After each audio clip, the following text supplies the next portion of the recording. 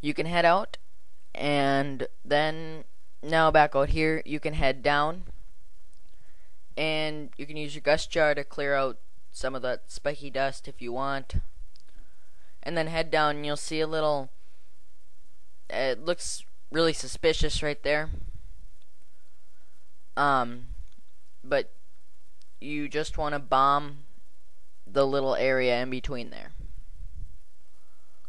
And it will then open up a cave for you to go in, and there'll be some red chews here. And ugh, I accidentally used a bomb again. I guess that killed two of the chews, but um, well, I might as well just show you this. Um, where to get bombs if you ever run out. I'll show you that in just a second. Like I said before, um, it, um, if you kill the enemies, then they don't reappear. So you can head all the way to the left here, go in here, and there'll be a business scrub. He'll be selling 10 bombs, and you should have enough rupees for it. and they'll give you um, 10 bombs for 30 rupees. You should have 30 rupees. If not, you need to find something if you run out of bombs. Otherwise, just um you didn't have to do that right there. That was that's just um if you ever run out of bombs while you're here, then you need to um go there. And now you'll see this rock looking thing and that um, is another portal to the Minish world, just like tree stumps or things like that. You can use those, and there'll be a little shortcut scene here, just showing you getting small. Um, you'll see the rock there. Um, obviously, you want to bomb that, and then um after it's gone, then you can turn small and you can go through the little passageway up there. You want to get out your bottle before you head through there. And um, there'll be some of these little bugs, I guess. And you can head up from there. Um, there'll be rocks falling too. I don't really know where they come from, but I guess they're tiny pebbles because you're small. But, anyways, when you get up here, um, this is why you wanted to have your bottle out because you want to get some of this fresh spring water. And that's why we didn't get a fairy earlier because we needed this.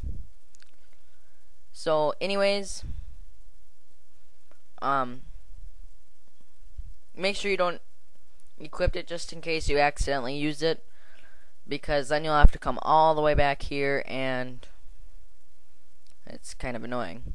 So we'll be using that later on. You can grow big again and then go out the way you came or jump down the side, whichever is easier. And now we want to go through that one cave that I went in earlier, but since I cleared out most of the enemies, they won't be there now. Um, same way I did last time, just use the mushrooms. Be now you can go upstairs and there will be these new enemies which have masks on them. Use the gust jar to pull their masks off and uh, Ezlo told me exactly what I was trying to do.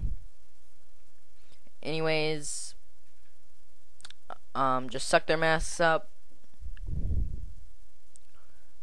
and then kill what's left. Um, one thing that you can do also is that if you keep sucking after their mask comes up, you'll suck them in too. So, um, it's just something to think about. And pots won't work on them if they have their mask on. So just clear out the enemies in this room and then head down on the other side. Now back out here, Ezlo is um, going to talk to you about those whirlwinds and he says if you jump into him, you'll be able to fly with him. Um, yeah, red chew also if you want to kill it. But jump into the vortex, and you'll use Ezlo as like a little parachute thing. Head over to the other vortex, and then um, go on the higher up ledge. From here, we're going to be heading all the way up to the top and over. Um, you can kill these Tektites if you want to. Otherwise, just keep heading up and you'll be at a new area called Mount Crenel.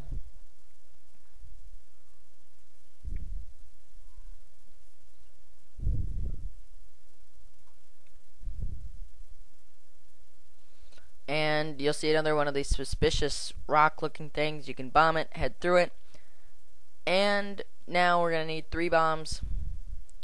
So place them all in those little cracked blocks. You can get piece of heart number six now.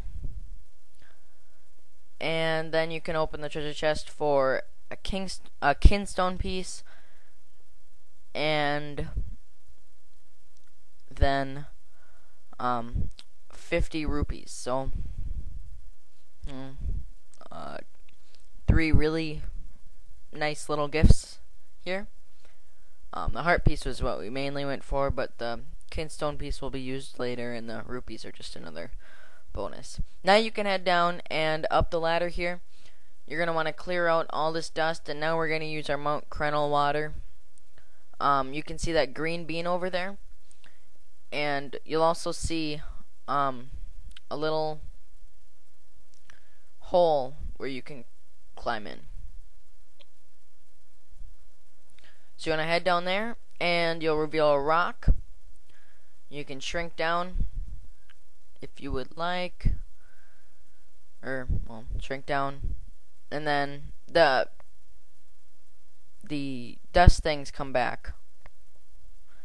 Um, you can hop down the hole to get a another kinstone beast, and you can talk to him, and he'll tell you about Crenel beans. And they'll, he says these are the green ones, and they can only be grown with hot Crenel spring water. So that's why we got it before. Now we're gonna go to that passageway through there, and there'll be some enemies here. You can kill them if you'd like. Doesn't really matter. Um, these ones get kind of annoying, I think. But anyways, just keep heading up. And you'll see a Crenel bean. So pick it up and then walk all the way back down. You won't be able to go underneath the twigs this time. So you gotta go around them. Come out here and you can throw the Crenel bean into the hole there. Make sure you don't fall into the hole either. And then you want to turn big. You can pour your hot Crenel water on the bean up there. And